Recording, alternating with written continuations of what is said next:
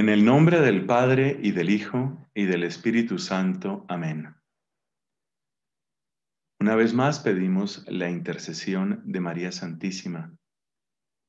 Podemos decir que en ella se ve reflejado el Evangelio. Y como nosotros anhelamos ser también testigos de la gracia del Evangelio, qué mejor que aprender de ella. Dios te salve María, llena eres de gracia, el Señor es contigo. Bendita tú eres entre todas las mujeres, y bendito es el fruto de tu vientre, Jesús. Santa María, Madre de Dios, ruega por nosotros pecadores, ahora y en la hora de nuestra muerte. Amén. En el nombre del Padre y del Hijo y del Espíritu Santo. Amén. Comentábamos en nuestra charla anterior sobre las inmensas riquezas del amor de Dios Padre. Esas riquezas las sintetizó el apóstol San Pablo diciendo que somos coherederos. Recordemos esa palabra que no es tan frecuente en la predicación actual, pero que tiene tanta elocuencia. Coheredero el que ha recibido la misma herencia. La síntesis de todo lo que Dios Padre puede darnos a nosotros está, en cierto modo, en esa palabra. Ser coherederos. ¿Por qué? Porque esa palabra nos enseña que el modo como Dios Padre trata a su Hijo, como lo ama, como le ha dado poder y gloria, es lo que quiere darnos a nosotros. O sea que las riquezas que Dios quiere compartirnos como hijos, esas riquezas son del mismo tamaño de Dios. Eso es lo que Dios quiere darnos. Ahora bien, inmediatamente surge una pregunta. ¿Por qué? Si somos hijos, vivimos tantas veces como esclavos ¿Por qué, si somos coherederos, vivimos tantas veces como desheredados? ¿Por qué, si la riqueza de Dios se ha vertido en nuestros corazones, como dice el apóstol San Pablo, el amor de Dios ha sido derramado en nuestros corazones con el Espíritu Santo que se nos ha dado? Si Dios nos ha dado ese torrente, ese océano de su amor, ¿por qué tantas personas experimentan vacío? Es que no les basta, es que no nos basta la abundancia de Dios. ¿En qué parte? Es una buena pregunta. ¿En qué parte se ha roto ese regalo precioso que Dios quiere darnos, el regalo de la riqueza de su amor. En cierto sentido, esta predicación es como una respuesta, quiere ser una respuesta a esa pregunta. ¿En dónde se rompió ese, esa transmisión? Podemos pensar en ese regalo que Dios nos da y que ha hecho un largo camino. ¿Por qué no llega? Porque hay corazones a los que no llegan. Para comprenderlo, tenemos que hacer una afirmación sorprendente. Y es que a veces le rechazamos el regalo a Dios. Hay una palabra que está en el Evangelio según San Juan, por favor búscala. Dice Cristo en una discusión con algunos judíos, dice, mis palabras no entran en ustedes. Ustedes no reciben mis palabras. Claramente, las palabras de Cristo son sabiduría pura, sabiduría destilada, fresca, nutritiva y luminosa. ¿Por qué se rechaza la palabra de Cristo? ¿Por qué hay una resistencia? Algo de eso parece estar referido en el capítulo primero del Evangelio según San Juan. ¿Recuerdas aquella frase? Seguro ya la tienes en tu mente por la manera como he empezado a expresarme. La frase que dice Cristo es, bueno, la frase que dice el Evangelio refiriéndose a Cristo es, vino a los suyos y los suyos no lo recibieron. En Él, en Cristo, están todos los tesoros de Dios. Dándonos a su Hijo, nos dio todo. Pero vino a los suyos y los suyos no lo recibieron. Esto suena todavía más misterioso. ¿Qué es lo que hace que Cristo sea rechazado? Por Dios, ¿por qué podríamos nosotros rechazar tantos bienes? Bueno, démonos cuenta de que ese rechazo aparece muchas veces en la Biblia. Por ejemplo, los predicadores de Cristo, entre los cuales indudablemente descuella San Pablo, fueron rechazados. En algún momento en el libro de los Hechos de los Apóstoles te encuentras con esta expresión de San Pablo puesto que no os juzgáis dignos de la vida eterna, nos volvemos, o sea, nos dirigimos ahora a los gentiles. Esas palabras las dice Pablo a un grupo de judíos en una sinagoga. Búscala, por favor, también hay tarea para ti. Puesto que no os juzgáis dignos de la palabra de Dios, nos volvemos a los gentiles. Es decir, que ahí hubo un rechazo. Encontramos también otras huellas de ese rechazo. Por ejemplo, en la carta a los hebreos. Toda la carta a los hebreos es una especie de exhortación a una comunidad de cristianos convertidos desde el judaísmo. Por eso se habla de carta a los hebreos. Ellos habían sido ganados para Cristo, indudablemente por la predicación de los apóstoles, y habían empezado a experimentar persecución, segregación, hasta el punto de que el desaliento y la perplejidad ya habían hundido las garras en los corazones de ellos, de los hebreos. Por eso esta carta a los hebreos tiene tantas exhortaciones a la perseverancia, a no abandonar las asambleas, a permanecer firmes en la fe. O sea que esta comunidad cristiana, cristianos convertidos desde el judaísmo, indudablemente, en una comunidad que estaba experimentando rechazo, solamente por el hecho de ser cristianos. Cristo lo había anunciado también Decía Cristo, me han odiado a mí. Eso está en el Evangelio de Juan. Me han odiado a mí, los van a odiar a ustedes. Pero también anuncia, también guardaron mi palabra, guardarán la palabra de ustedes. Es bastante misterioso esto, pero lo que debemos tener claro es que el problema, el defecto, no está en Dios. El defecto está en nosotros, clarísimamente. El defecto está en nosotros.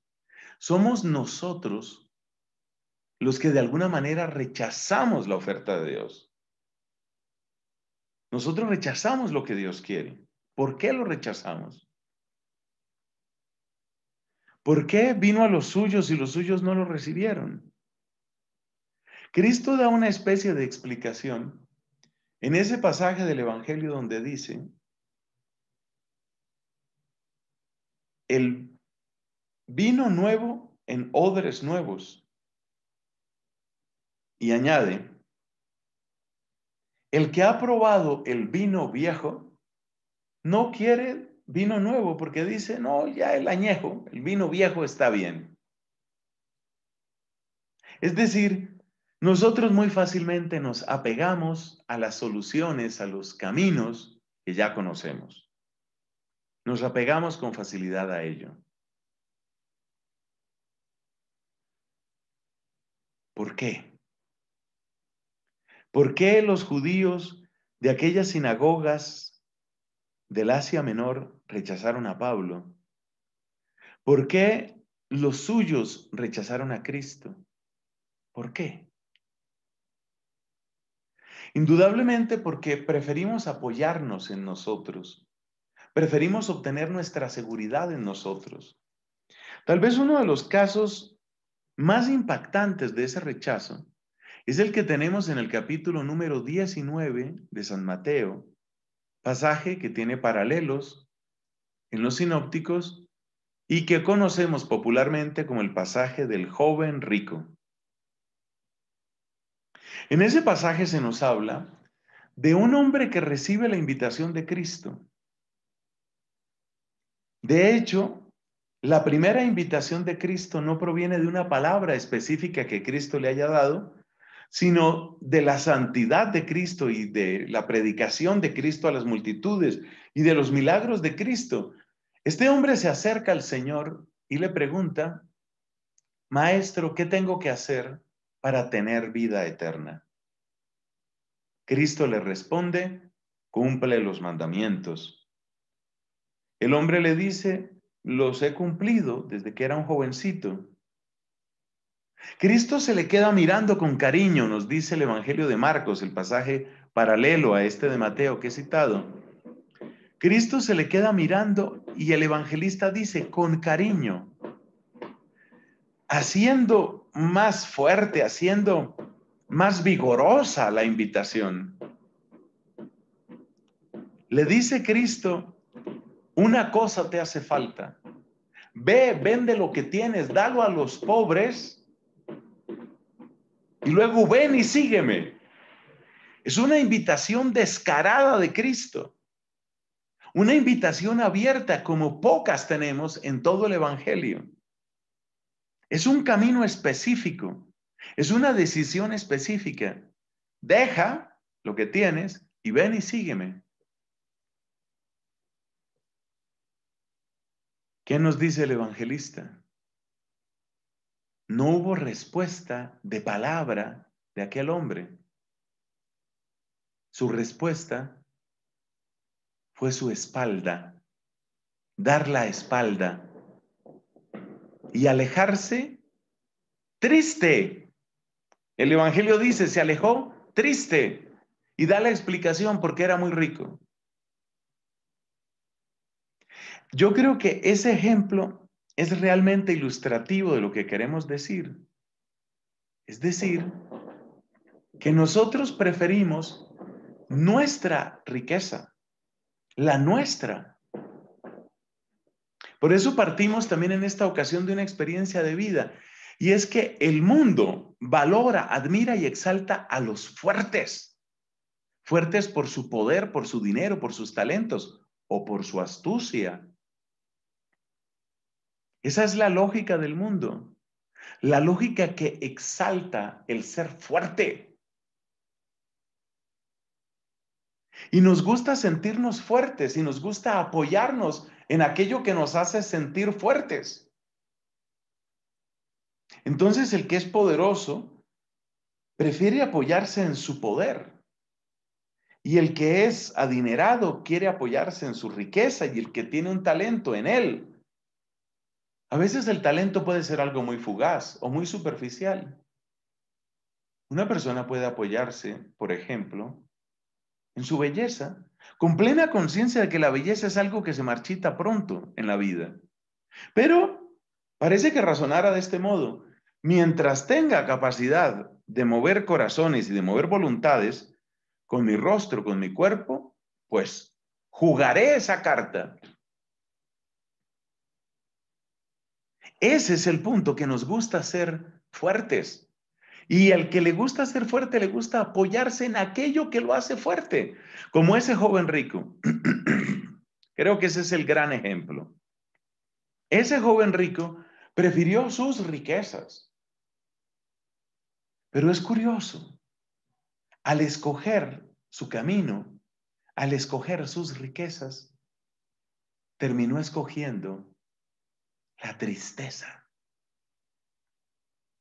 Hay pasajes muy elocuentes del Papa Francisco en su carta apostólica Evangelii Gaudium, que suele traducirse por el gozo del Evangelio. El Papa Francisco relaciona el egoísmo que nos encierra en lo que nosotros estimamos como riquezas, ese egoísmo lo relaciona con la tristeza, lo relaciona lo relaciona con la depresión que muchas veces experimentan muchas personas. No quiero decir que este sea el único diagnóstico de la depresión. Puede haber muchas causas también orgánicas, qué sé yo. Pero no cabe duda de que aquella tristeza del joven rico tiene muchas repeticiones, tiene muchos ecos en muchos sitios. Una tristeza que es la tristeza del que en realidad se siente derrotado. Es la tristeza del que se siente perdedor. Y es muy curioso, se siente perdedor porque no quiso perder. Por ese lado parece que van las palabras de Cristo cuando dice, el que quiera salvar su vida, la perderá. Y luego añade, el que pierda su vida por mí, la encontrará. Indudablemente, aquel rico fue uno de aquellos que no quiso perder, no quiso perder, no quiso perder su riqueza, no quería perderla. Por consiguiente, lo perdió todo. Por no querer perder, perdió. Y su tristeza no es señal de que haya hecho un buen negocio. Perder a Cristo fue su peor negocio, fue su peor transacción. Entonces vamos encontrando explicación. Nosotros nos cerramos a las riquezas del amor de Dios cuando queremos quedarnos con nuestra riqueza. Espontáneamente nos gusta presentar nuestra mejor fachada. Nos gusta hablar de lo que hacemos bien. Nos gusta movernos en los terrenos que nos resultan familiares y donde estimamos que podremos brillar.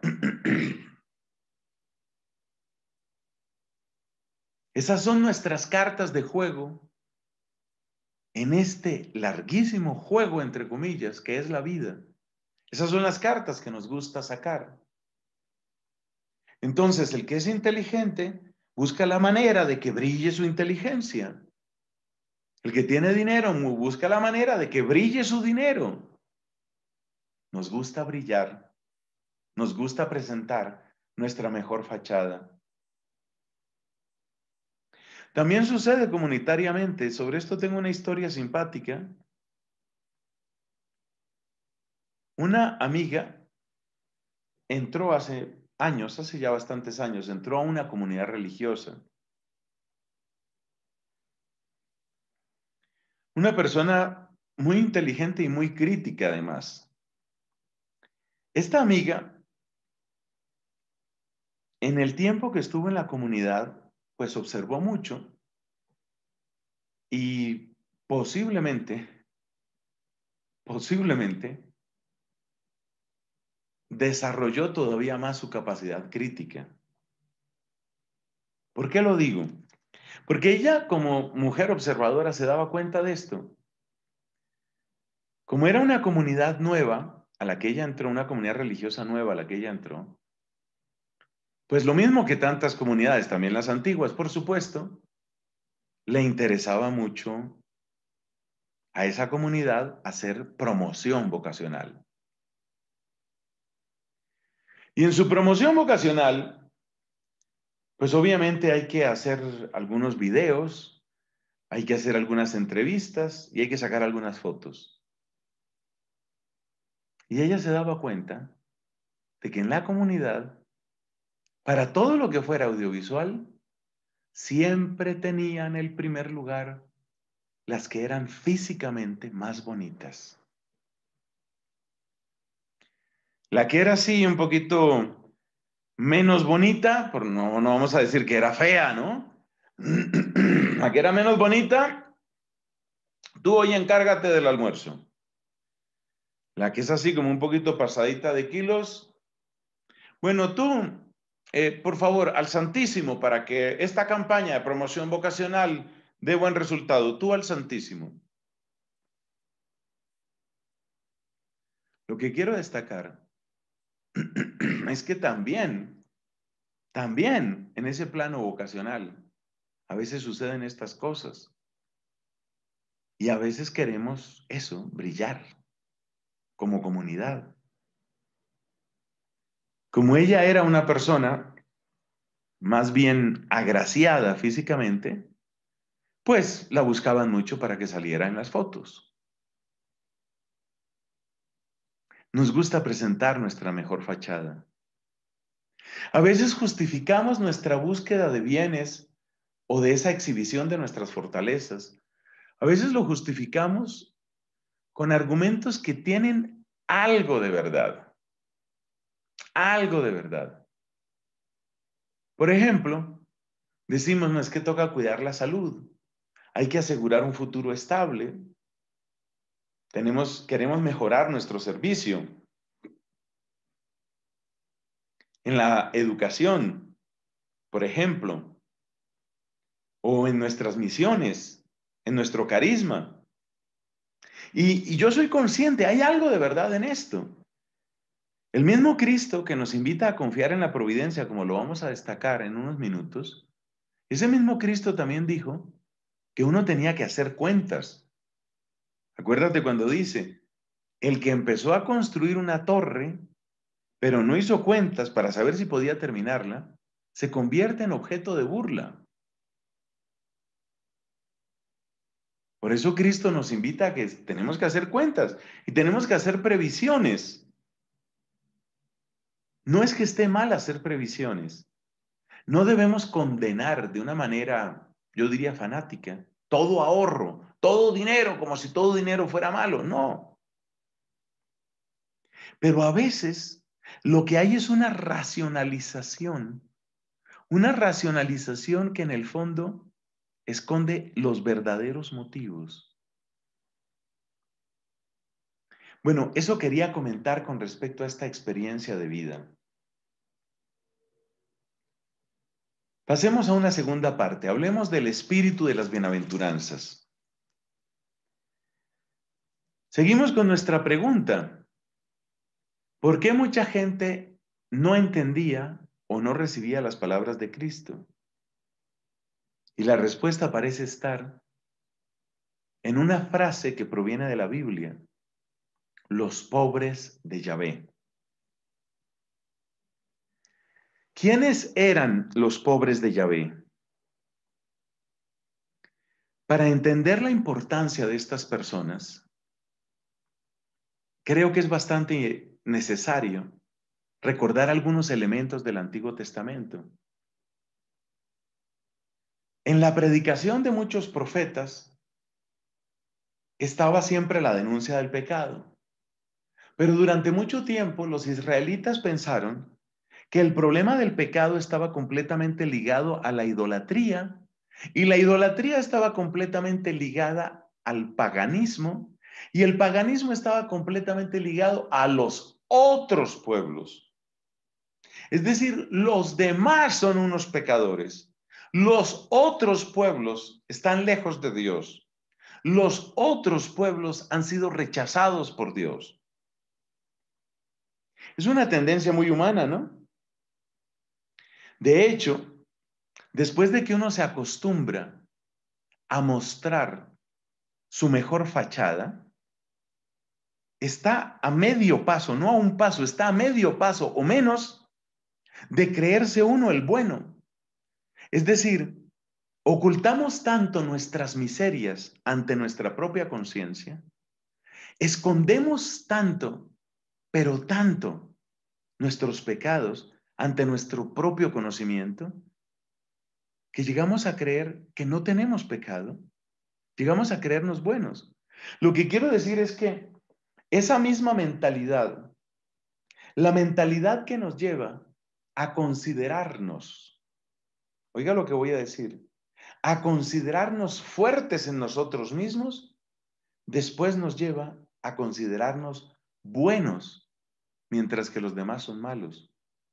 El que, se cree fuerte, se cree victorioso. El que se cree victorioso, se cree bueno.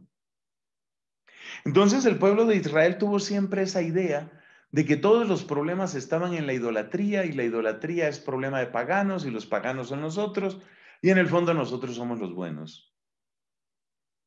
Poco a poco los profetas, con su denuncia insistente de los pecados de Israel, fueron sacando al pueblo elegido de ese sofisma. De hecho, uno puede encontrar, por ejemplo, en el Deuteronomio, busca ese texto, donde Dios le dice a su pueblo, si Dios os ha escogido no es porque seáis ni los mejores ni los más numerosos, sino es por puro amor y por guardar Él la promesa que hizo a vuestros padres. Es decir, que ya en la misma Torá, documento absolutamente fundante para todo Israel, está clara la idea de la gracia de la elección gratuita, del amor que nadie podría pagar, pero que Dios nos ha dado. Eso ya está ahí. Luego los profetas van a insistir mucho en esto, en que la idolatría no está solo afuera, en que el pecado no está solo afuera. Es un caso impresionante el de Jeremías. Y ya vamos a ver en pocos segundos por qué.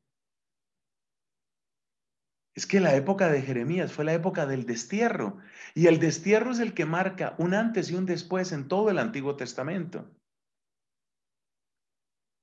Jeremías denunció tanto el pecado religioso de no darle verdadero culto a Dios,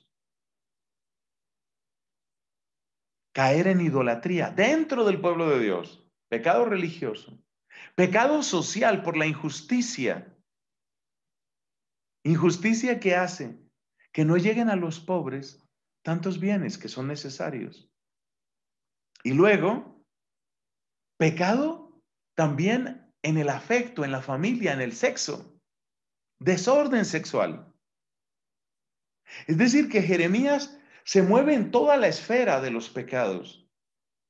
El pecado íntimo, pecado de sexualidad, el pecado social, el pecado de justicia, el pecado religioso, el pecado de idolatría. Jeremías hace una denuncia muy integral, pero no fue escuchado, fue rechazado. El pueblo, lo sabemos muy bien, tuvo que ir al destierro. El destierro fue la devastación. El destierro fue el desmoronamiento, el colapso de la idea que Israel tenía sobre sí mismo. Entonces Dios, en cierto modo, volvió a crear a su pueblo en Babilonia.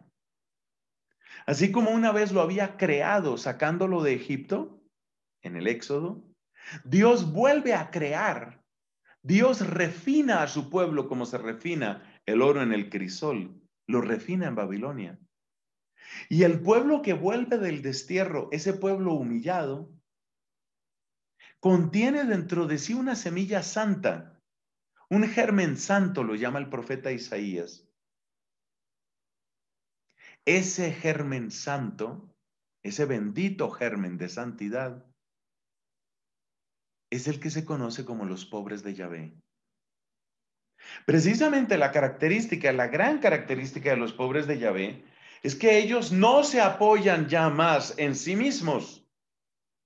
La gran característica de los pobres de, de Yahvé, conocidos también como Anahuín por la palabra en hebreo, los Anahuín, los pobres de Yahvé, son aquellos que no se apoyan en sí mismos. Y como no se apoyan en sí mismos, tampoco se apoyan en los poderes de esta tierra. No son los poderes de esta tierra los que les atraen. No ponen su confianza en las alianzas con otros poderes. Ese fue uno de los pecados que cometieron muchos reyes de Israel y de Judá. Supuestamente los demás pueblos son los idólatras, pero a la hora de buscar quién nos protegerá, alianza con esos idólatras. Ahí está la incoherencia. Los pobres de Yahvé son aquellos que no caen en esa tentación, pero no caen porque tienen bien presente la humillación del destierro, porque se dan cuenta que el mundo, todo lo que da, lo cobra y con altísimos intereses. Siendo así las cosas, los pobres de Yahvé son aquellos que aprenden a fiarse de Dios y solo de Dios, no de los poderes de este mundo, no de sus propias fuerzas, talentos, astucia o riquezas, a fiarse de Dios. Y eso nos ayuda a responder la pregunta que hemos hecho antes. ¿Por qué algunos no entendían ni recibían las palabras de Cristo? Es que se necesita una actitud particular, una actitud interior.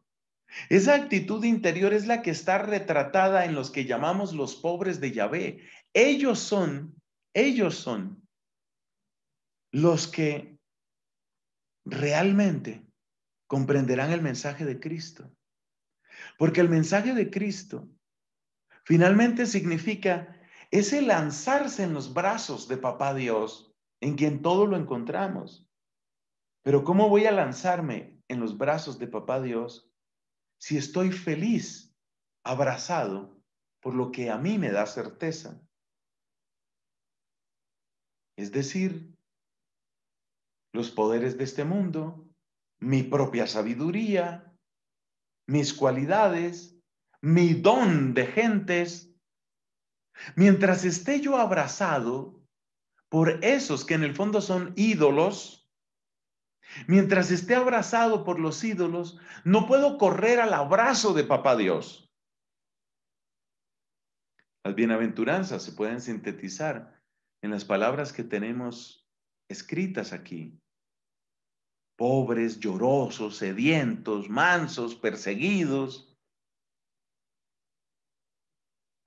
Pero la característica que hay detrás de todo eso, de toda esa lista tan lamentable y tan desconcertante. Lo que hay detrás de esa lista, ¿qué es? Mira, detrás de esa lista, lo que hay es un corazón que quiere apoyarse solamente en Dios. Es el corazón que quiere apoyarse solamente en Dios. Por consiguiente, el mundo le rechaza. Porque el mundo, en cierto sentido, se parece a un club, a uno de esos clubes de lujo. Un club de esos, un club de esos que tiene una cuota de entrada. Siempre el mundo te cobra y te cobra altísimo. Y siempre el mundo se venga y se venga cruelmente. Entonces, para aquellos que no son del mundo, para aquellos que no queremos ser del mundo, el mundo solo puede tener cosas como un caballo que golpea a aquellos a los que rechaza, a los que teme a los que odia. Las cosas del mundo son las que llegan, las que impactan sobre los pobres de Yahvé. Por eso no es extraño verlos desposeídos de tantas cosas, despreciados, sedientos, perseguidos. Hay un texto impresionante que está en el capítulo cuarto de la segunda carta a los Corintios. Ese capítulo cuarto empieza con estas palabras de Pablo. Ya que por la misericordia de Dios tenemos este ministerio, no nos desanimamos. Más bien hemos renunciado a todo lo vergonzoso que se hace a escondidas.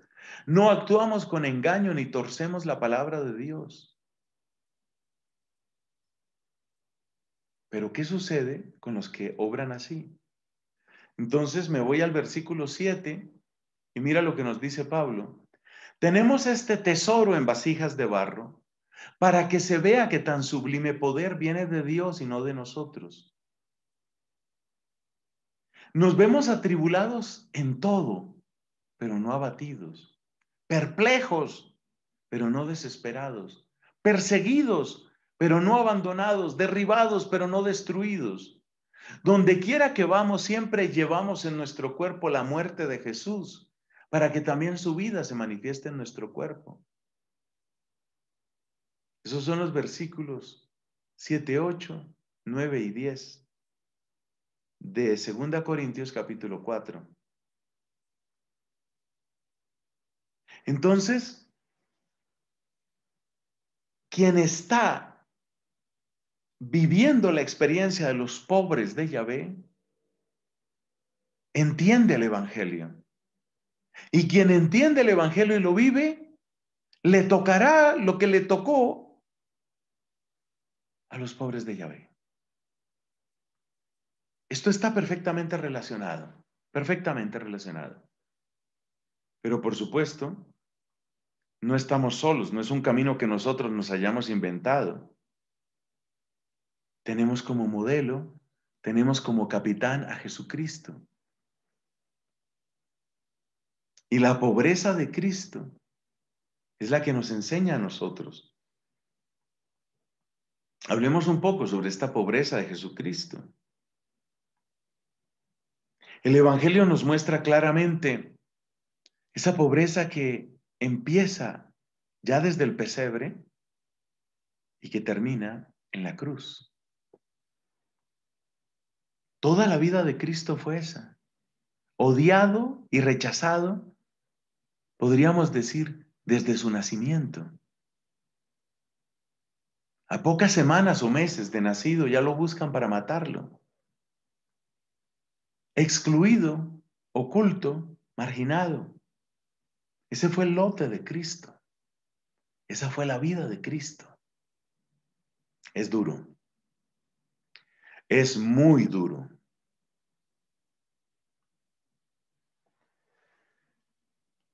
Pero yo quiero que profundicemos un poco más en esto de la pobreza de Cristo. Sobre todo para darnos cuenta que aunque tiene claramente una dimensión material, va mucho más allá de los aspectos simplemente monetarios o materiales. El evangelista Juan nos dice que había uno que servía como de tesorero, uno que llevaba la bolsa, aunque robaba, ¿no? Ese era Judas Iscariote. O sea, tenían un pequeño fondo común. Seguramente no era muy grande, pero tenían un dinero en común. Los sinópticos nos dicen que Cristo se hospedó en Cafarnaún, se estableció en Cafarnaún, dice abiertamente San Lucas. Todo indica que se estableció en una parte de la casa que era casa de Pedro. O sea, Cristo tuvo casa, por lo menos durante un tiempo. Ese fue su centro de operaciones, Cafarnaún. Cristo pagó impuestos. Recuerda aquel pasaje, un poquito exótico, en el que Cristo le dice a Pedro, ve y pesca, ve a pescar, al primer pez que pique, ábrelo, ahí hay una moneda para que pagues por ti y por mí el impuesto. Un impuesto que correspondía, según aquella situación de ellos, a un doble dracma, el didracma, doble dracma. Es decir, Cristo no estuvo completamente desconectado de los bienes materiales. Lo esencial de la pobreza de Cristo no está ahí.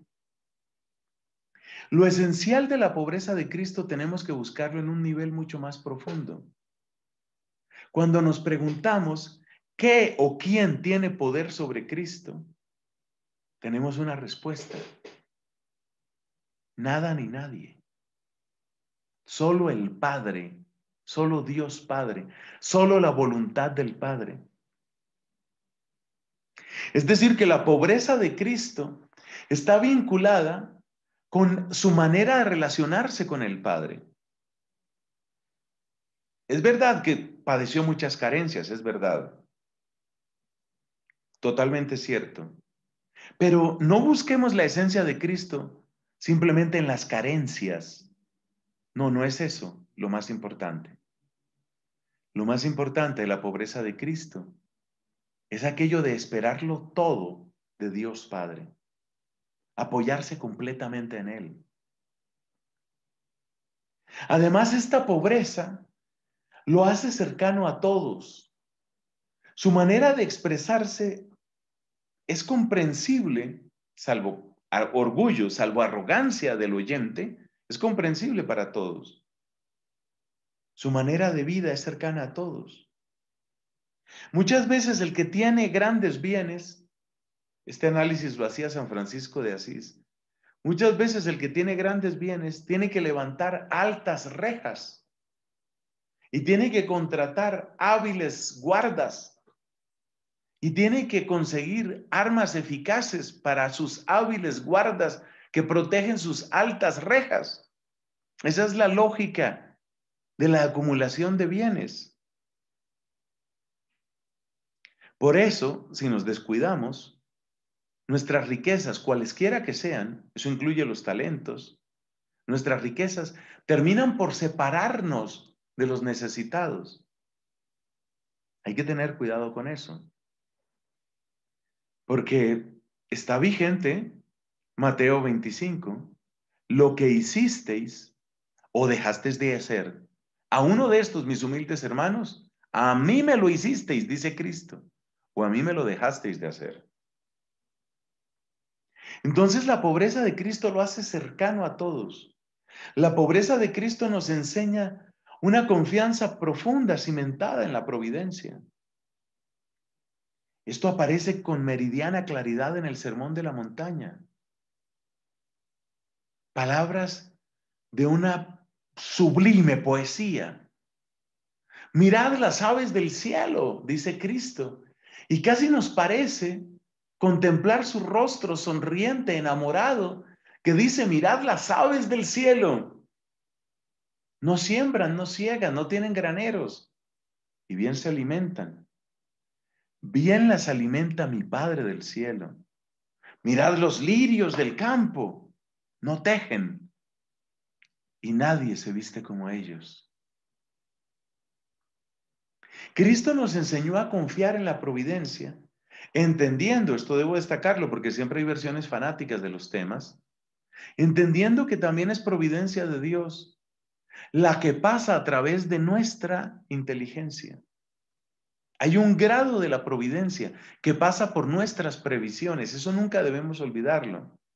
Porque quien no tiene presente eso, cae en la herejía en la que cayeron los llamados fratricelli, unos hermanitos de la pobreza que existieron en el siglo XIV. Pero esta herejía se ha repetido en otros momentos. Ellos consideraban que solo había una manera de vivir la pobreza que era en la absoluta mendicancia. Por consiguiente, consideraban que el Papa, que ciertamente no vivía en la mendicancia, no tenía ninguna autoridad sobre ellos.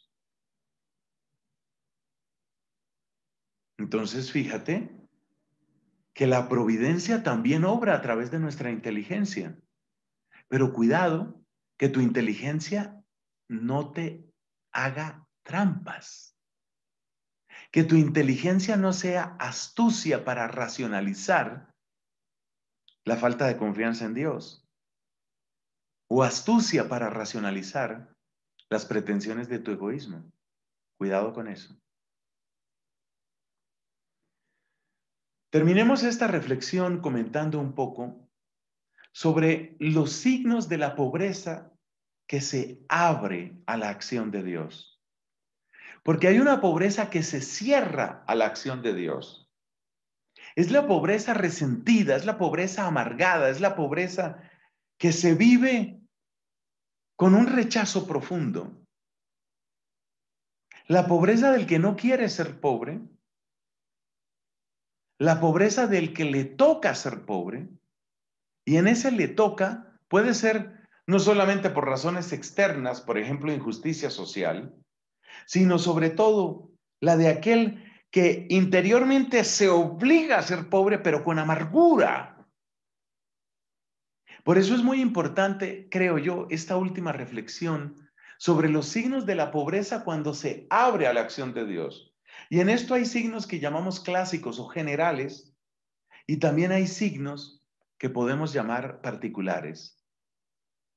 Hay signos que son bastante clásicos de que uno está siguiendo la voluntad de Dios.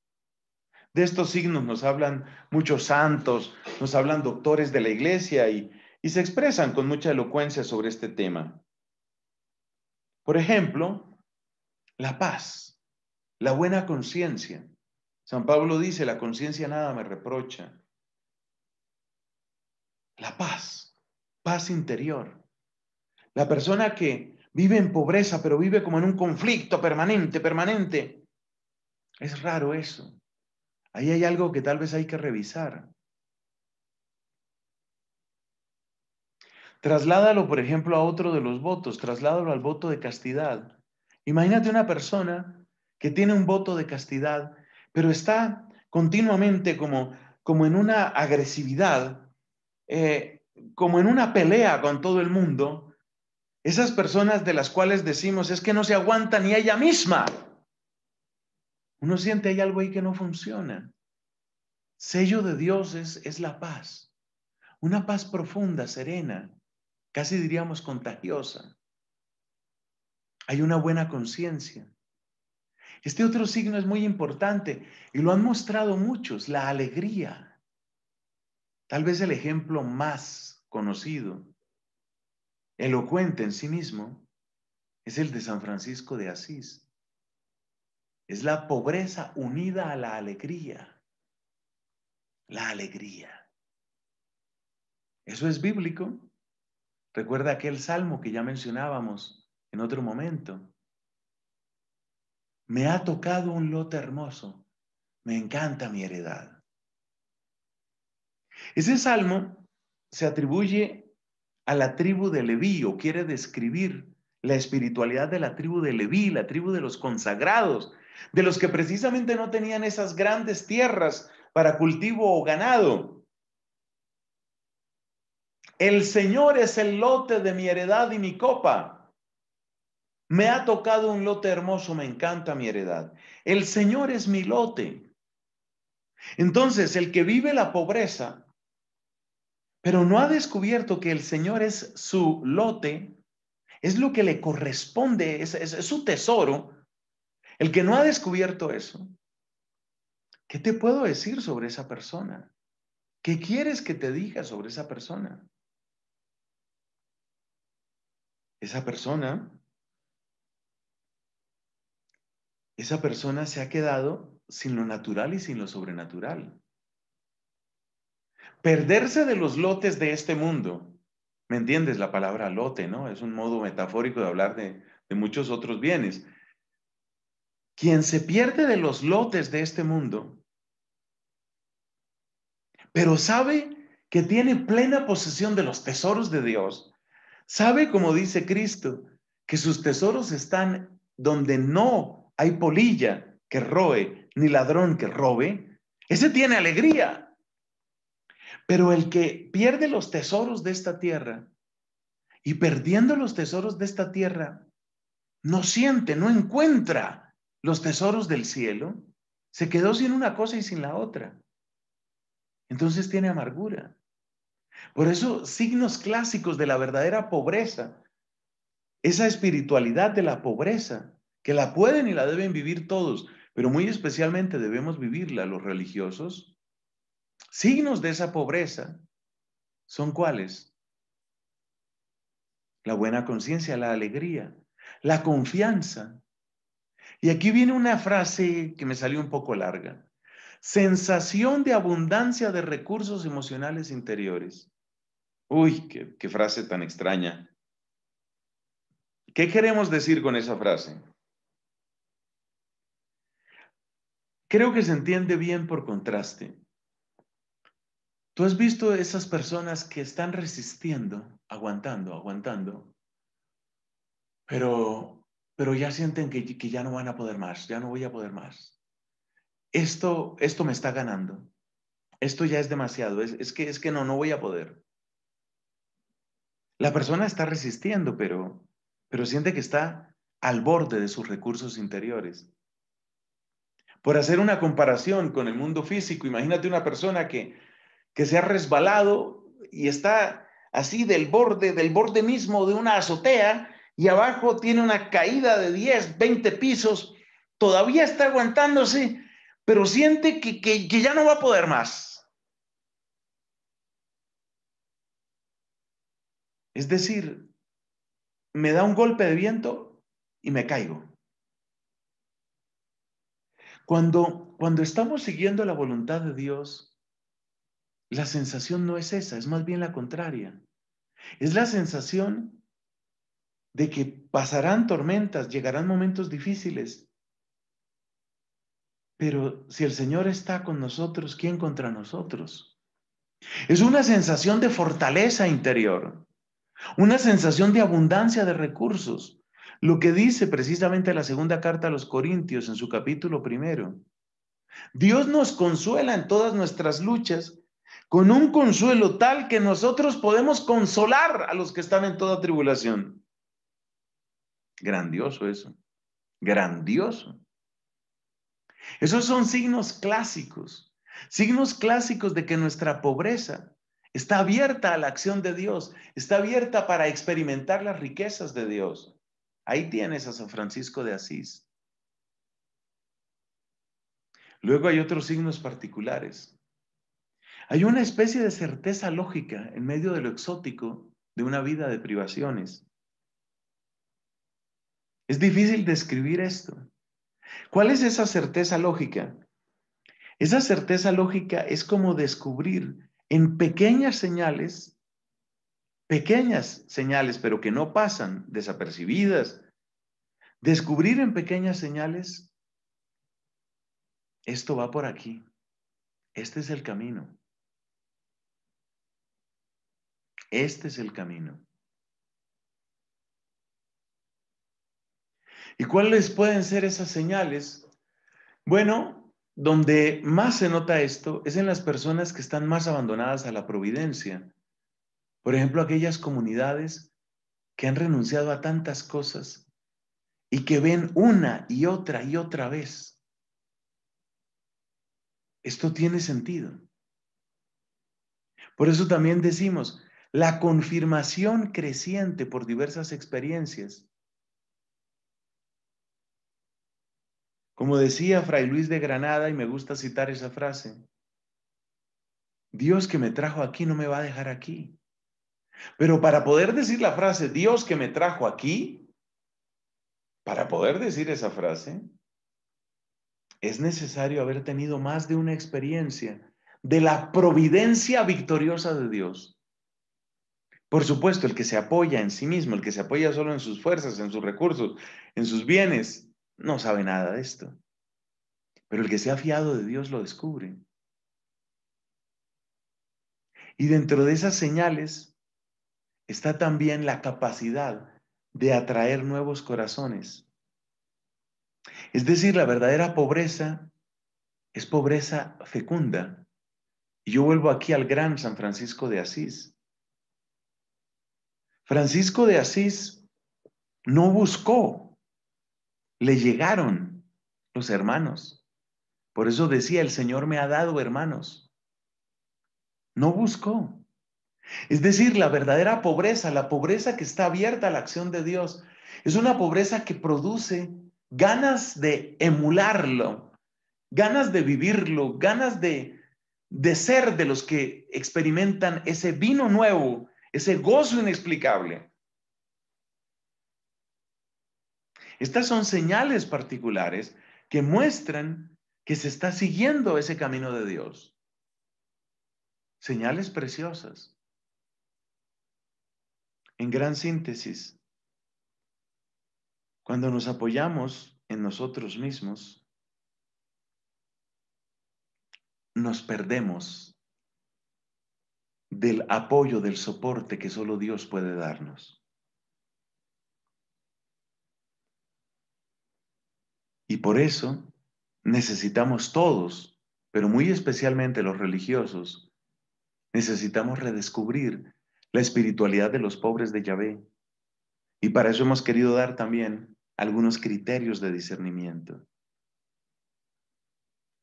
Yo pido al Señor que obre poderosamente en nuestros corazones, que los desate, que los libere. Porque desde esa libertad interior que solo Él puede traer a nuestras vidas, desde esa libertad y solo desde ella, podremos llegar a decir, el Señor ha estado grande con nosotros. El Señor ha estado grande con nosotros y estamos alegres. Gloria al Padre y al Hijo y al Espíritu Santo, como era en el principio, ahora y siempre, por los siglos de los siglos. Amén.